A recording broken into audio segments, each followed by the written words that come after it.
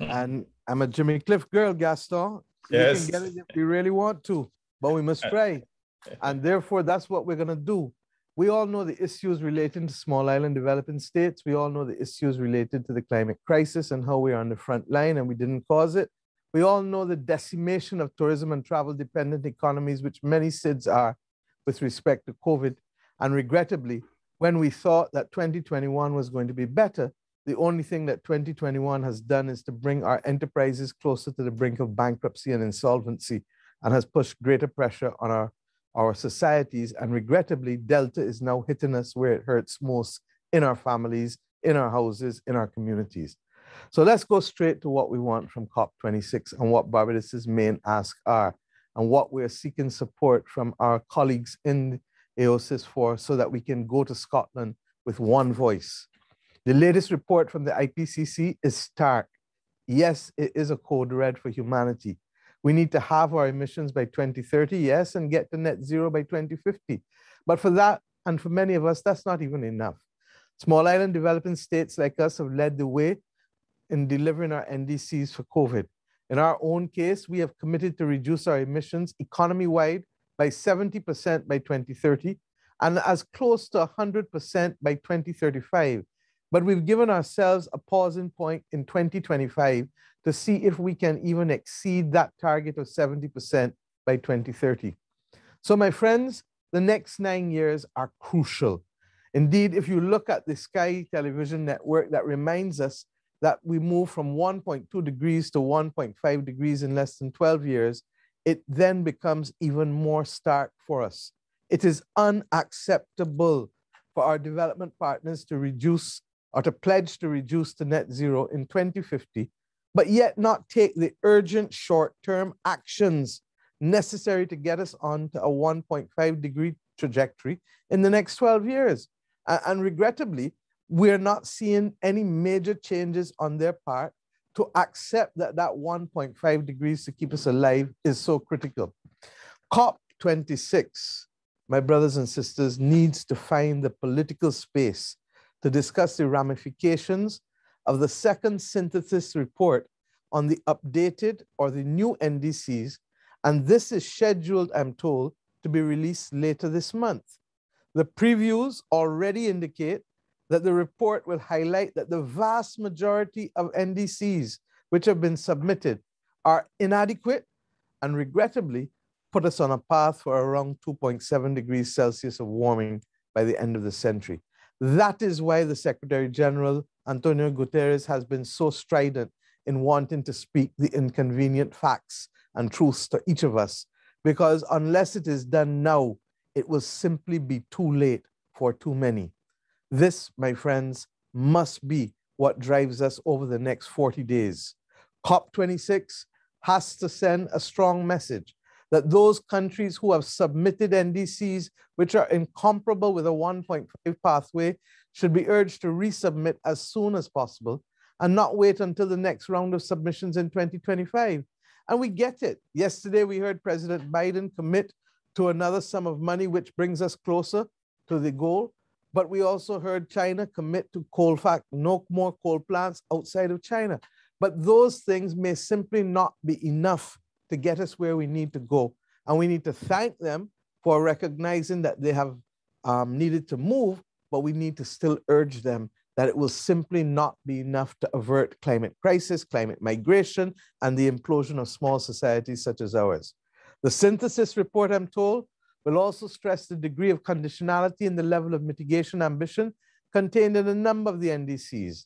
Simply put, most of us, including my own country, have said that we can do more if we have access to more financing, more technology transfer, and indeed more capacity building.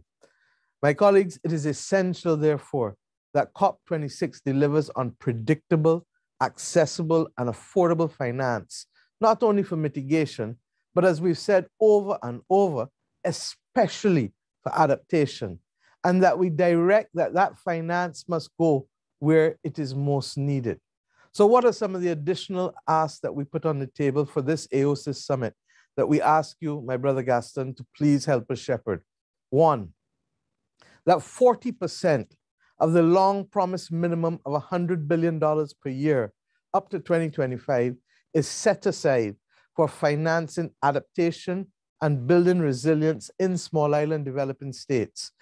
And we ask this recognizing that most of it and a lot of it will need to be grant financing because most small island developing states simply do not have the fiscal space, even if the money is made available to us. And why 40%? Because AOSIS states constitute at least one quarter of the world's community. But we know that there has been a disproportionate impact on us. And therefore, we believe that we need that access for the next few years in order to help us right size what needs to be done with the majority of it as grant funding. We cannot agree that we should crowd out our access to development funding simply because we are the victims of the greed and the reckless behavior of the G, G20 countries who are responsible for 80% of the greenhouse gas emissions. Secondly, that the special drawing rights for sustainable development are increased significantly.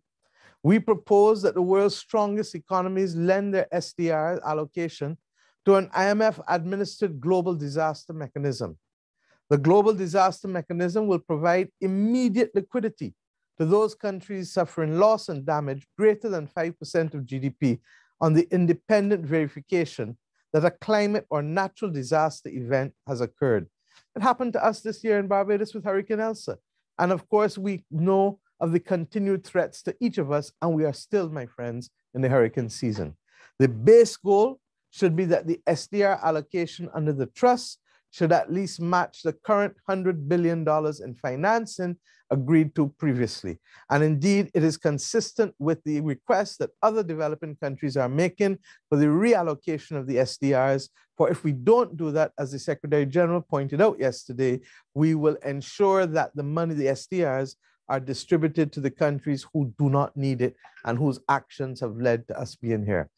Finally, that there's a commitment by our development banks and our financial institutions, following the example set by Barbados to issue natural disaster clauses like Barbados, like Grenada, in new loan agreements or existing loan agreements where possible to provide the much needed liquidity in a crisis without pushing our loans into disorderly default.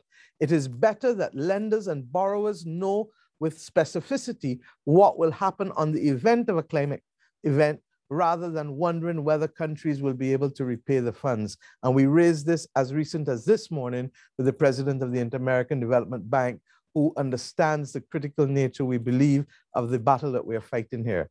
And it is without um, any form of contradiction that we must see the Paris Rule Book completed at this COP, leaving and ensuring that we have already lost more than a year to COVID and therefore we've not seen the pace of negotiations proceed with the expediency uh, uh, that we would like. To conclude, my friends, my fellow leaders, ladies and gentlemen, our alliance has allowed our collective voice to be heard on the world stage. As we advance towards Glasgow now, over the next 40 days, let us please, if ever we never did it before, let us on this occasion hold fast to our mandate and our responsibility to our small island states and the developing countries that are in our group, such that our citizens may be given a chance to build a future.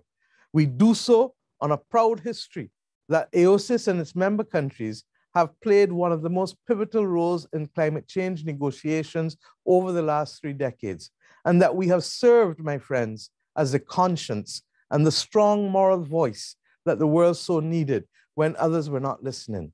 Let us ensure that as a conscience of the convention, it falls to us to make these voices heard. Because why? Our cause is a just cause, and our call, therefore, to action must be a strong call.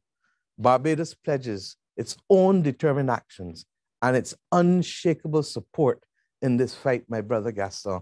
And we look forward to your leadership as we go forward into Glasgow over the next 40 days. Thank you, my brother.